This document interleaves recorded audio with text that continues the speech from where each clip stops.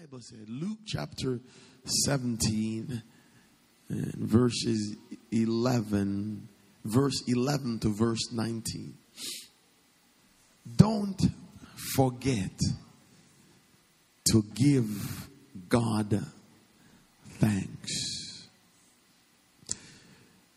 Uh, once again, we are uh, we have come to a festive time of the year,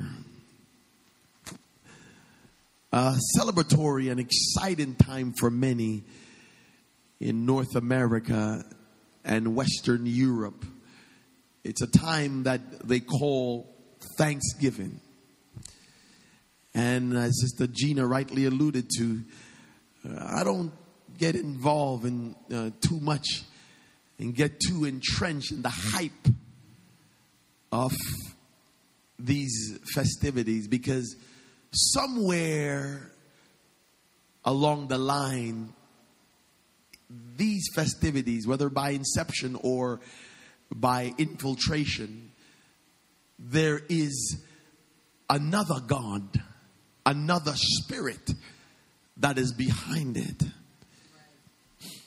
As becoming Canadians, uh, we in contemporary times have viewed and have taken advantage of this time as an opportunity to throw off our work suits, take off our work hats, and to put on a t shirt and jean skirt or jeans pants and to go for a walk in the cool autumn breeze and to enjoy ourselves with family and, and have Thanksgiving turkey. I don't know where the turkey came from, but it manifested. and uh, you'll understand as I go that the turkey had nothing to do with it originally, but have the turkey and uh, there are times when we frequent uh, this time of year, we frequent churches.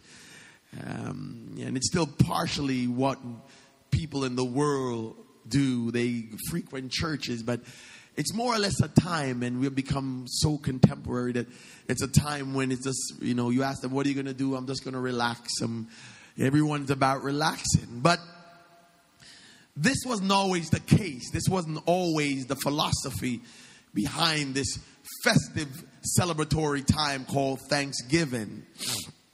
In the early uh, adoption of the Western European Thanksgiving, uh, which was the celebration uh, or celebrating or thanking uh, the God or the Christian God for a hopeful and a bountiful harvest.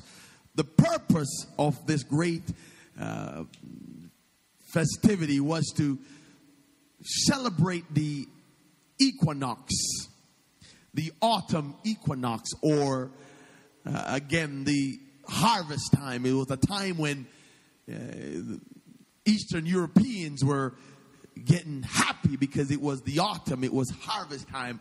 Harvest was here. Uh, amen to God. And they were happy, and so they threw a great celebration. And uh, this celebration was uh, a wide celebration in Europe.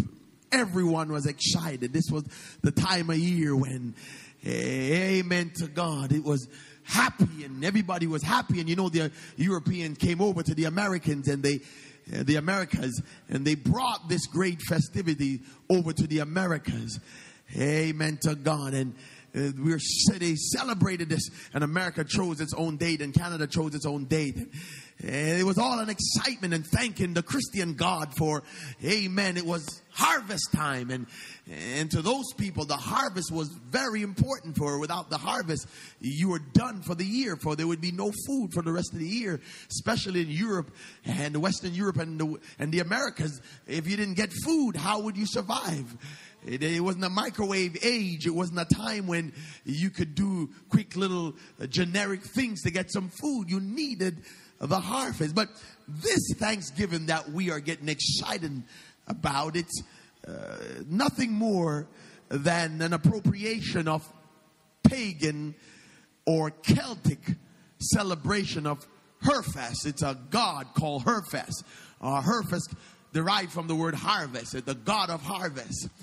It was a paganistic worship. It was to the, a certain God. And so all it is is an appropriation of this paganistic Celtic worship. And so that's why you have to be careful uh, how we get excited for all these wonderful things that we are calling Thanksgiving. Now, not that I don't jump and take off my work suit and lay down and enjoy myself. I do, but I'm not going to get into the festivity of it because there's a spirit behind it. And even though it has changed in contemporary times, it still carries the same spirit. Come on, talk to me. But let me declare to you this morning that Jesus is not looking for this type of thanksgiving. Come on, talk to me. He's not looking for a herfest, celebratory, carnal type of thanksgiving. Hallelujah to God. Help me, help me, Lord. Carnal people will always be thankful for carnal things. Huh? Carnal people were happy for the autumn, the equinox, harvest time, for they were carnal. All they thought about was their belly. Oh, Jesus. But my Bible tells me that in Romans 8 6. For to be carnally minded is dead.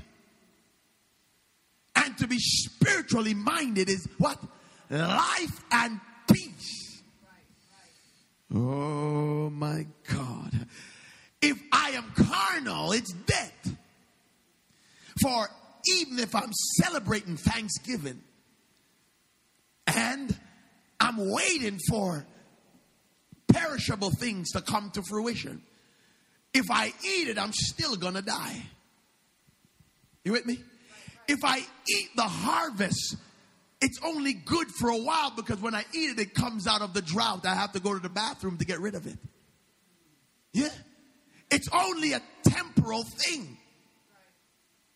But when I have spiritual things, when I get spiritual food from God, when I'm thankful for spiritual thing, the spiritual thing that I get from God gives me life. Not only life, but it gives me eternal life and it gives me peace. A peace that passeth all understanding. Oh, somebody give Jesus praise. I'm not getting, getting excited for Thanksgiving, October 10th or whatever. But I'm getting excited for I got a harvest that's coming. I got a reaping that's coming. Pour out thy sickle and reap the church. Oh my God. Galatians 6 8 tells me, For he that soweth to this flesh shall of the flesh reap corruption. But he that soweth of the Spirit shall of the Spirit reap life everlasting. Are you with me? We're talking about harvest time. Hallelujah to God. We're talking about Thanksgiving. If I sow carnality, if I sow superficial, carnal, temporal things, I'm going to reap superficial, carnal, temporal things, and I'm going to inherit corruption, which is death. For I don't care how wealthy I am, I don't care how well fed I am, I'm still to die the physical death. But I'm here to tell you that if I sow and reap spiritual things, you might kill the body, but you can't kill my spirit. Oh, hallelujah to God. I'm going to have eternal life. My God, I'm here to tell you lip service, thanksgiving isn't being thankful at all. Huh? For many times we come to the house of God and all we're doing is saying, I thank the Lord. We have taken this time of year to say, Oh, I'm thanking the Christian God for it. Went from the pagan God, Herfest, to now the Christian God to say thank you. And so many people just kind of go to church and say, Well, today it's, it's, it's, it's Thanksgiving, so I'm going to give God thanks. But lip service is not giving thanks at all. Oh, somebody help me.